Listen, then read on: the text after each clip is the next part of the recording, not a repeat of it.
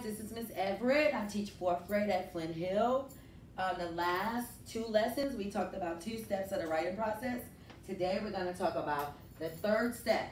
So remember, guys, we did pre-writing, our time to think, drafting, time to write it down. Today, we're going to revise. That's our time to improve our writing. So let's watch a refresher video so that we remember what the writing process actually is.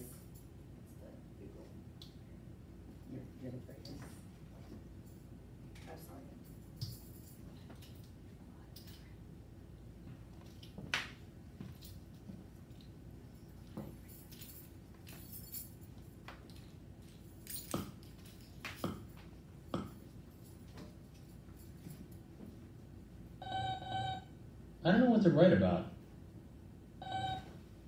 Write about you? Dear Tim and Moby, I need to write an essay for English. The opening paragraph is due tomorrow. It can be about anything, but I don't know where to start. Help. From Angel. I'm in the same boat, but Moby just gave me an idea. When you can write about anything, it's good to pick a topic that you're familiar with. Okay, now that I've got my topic, the pre-writing begins. This is when you collect your ideas and make some notes. Let's see what kinds of things come to mind when I think about life with Moby. I'll start at the beginning, like when we uh, first met. Um, Ah. Well, hello, little robot. What's your name? Moby, huh? Well, how'd you get here? Where did this big giant smoking crater come from? Who built you? Whoa. Don't really remember how we met. I, I guess we've just known each other forever. Moby and I have lots of fun together, like when we go camping. Hanging out with Moby can also be exhausting. Uh, we have lots of adventures, even traveling back in time. Moby's messy. He can't cook anything without destroying the kitchen. Well, let's see what I've got so far. Adventures, fun, known him forever, exhausting, and messy. That's a good start. On to the drafting stage. This is where you develop your notes into full sentences and start to write a rough draft. Okay, how's this for an intro paragraph? Me and Moby have known each other for as long as I can remember. He's my friend even though he drives me nuts sometimes.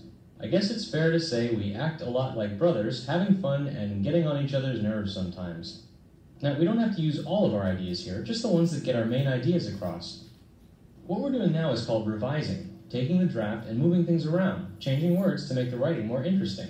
It's a good idea to read your writing out loud and to get feedback from friends and family. Oh, that works. Let's see. Moby and I are a lot like brothers. I've known him as long as I can remember. We do lots of things together, and even though he drives me nuts sometimes, we're still best friends. Sounds all right. Now we just need to proofread it for spelling and grammar. Mm, whoops. Looks like a good intro paragraph to me. The last step is publishing this to show my teacher tomorrow.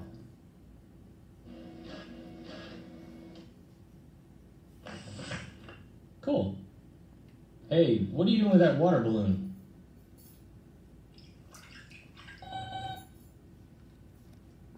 Don't make me revise this.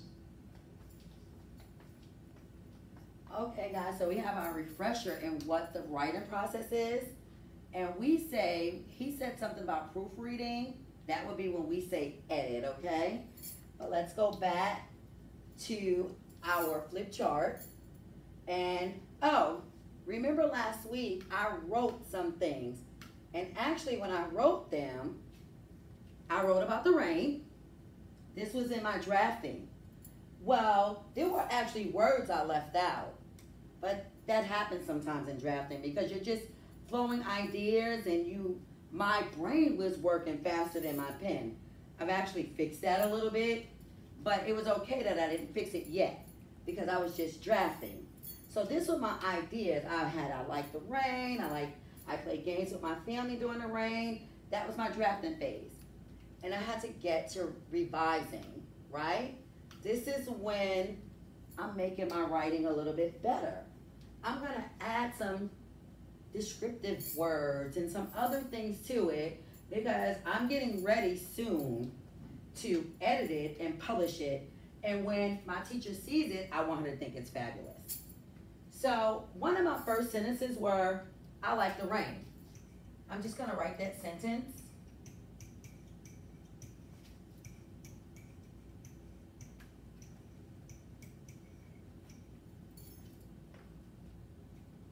It's not very exciting, so I need to kind of fix it.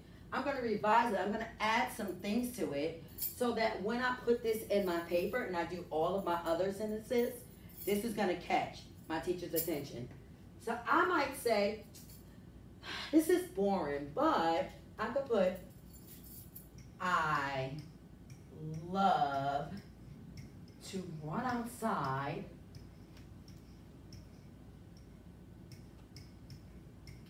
I love to run outside when it's raining.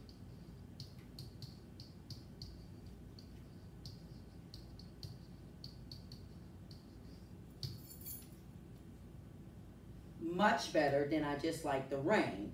And then I can say, oh, I also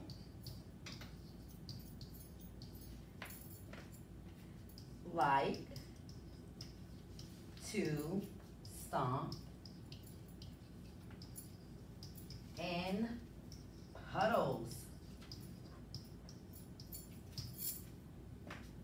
My I like the rain has now become all of this. So I would go through each sentence from my drafting and expand it and make it better, right? So now you need to take what you drafted from last week and do this. Do exactly what I did. Take your sentence, make it better. We're still not too concerned about punctuation because we'll get to that next time. But we need, need to make this more exciting. We need to expand our ideas, add some details, make it fun. And then next week, next week we'll get into editing it. Not yet. Next week, we're going to fix it up. All right, guys, enjoy your writing.